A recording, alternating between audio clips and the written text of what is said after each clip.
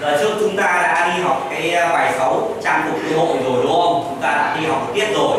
Hôm nay thầy trò ta sẽ đi học tiết 2 trang phục lễ hội. Thì giờ hôm nay chúng ta đã chuẩn bị đầy đủ dụng cụ tập chưa? Rồi bài trước chúng ta đã được giới thiệu này chúng ta được nhận xét này và bài hôm nay chúng ta tiếp tục thực hành không nhỉ? Chúng ta thực hành còn độ 10 phút còn lại thì thầy giáo sẽ cho các em sẽ là uh, đánh giá nhận xét chia sẻ bài với nhau, được chưa? Bây giờ trước khi vào bài mới của tiết 2 thầy giáo hỏi lại các em là à thầy giáo hỏi nhóm bạn Minh à? Là nhóm bạn Minh, các em sẽ làm trang phục gì nhỉ?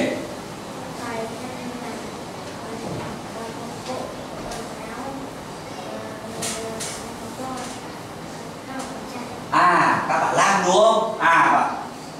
chất liệu của em làm được sử dụng là chất liệu gì?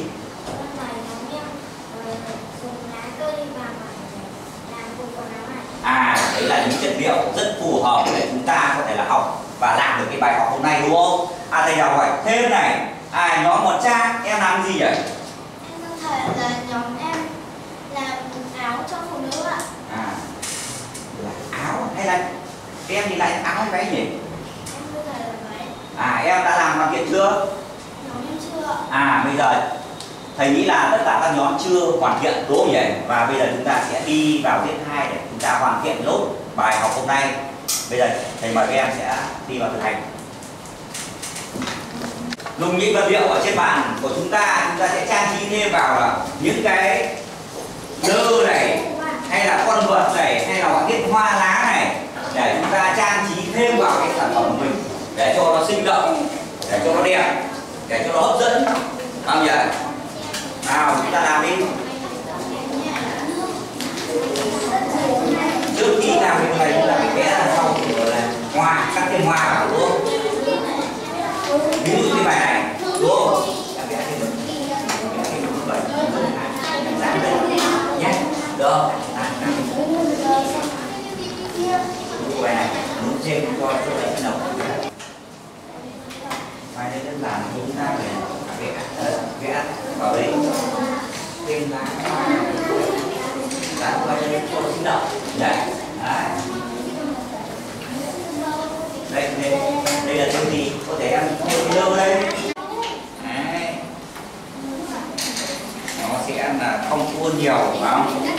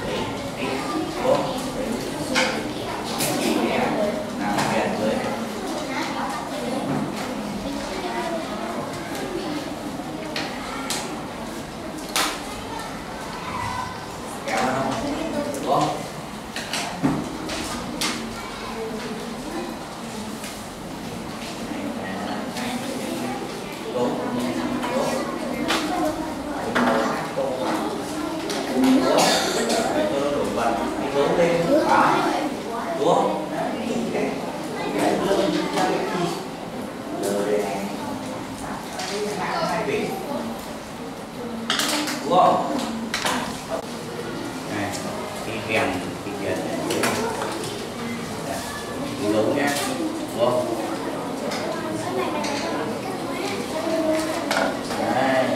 Đúng? Sau lấy cái hầu đi hoặc là không tắt được thì chúng ta nhìn cái hộp sữa tô vào. Cái hộp sữa màu chất vải. Đúng không? À, lấy cái màu nào đó. Sặc sỡ lên một chút. Nó vào đấy. Cái này được rồi.